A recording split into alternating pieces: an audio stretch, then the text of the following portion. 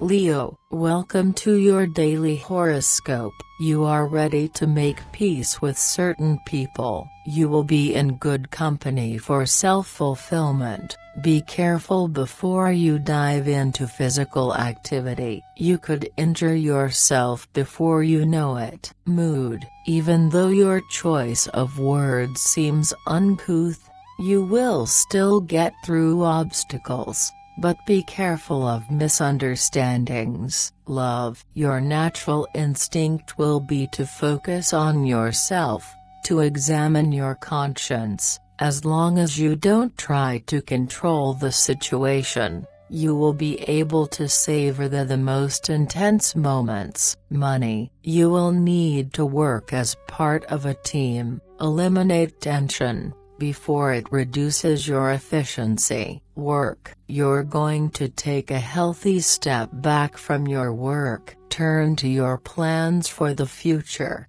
and work out the details. Have a nice day Leo, see you tomorrow.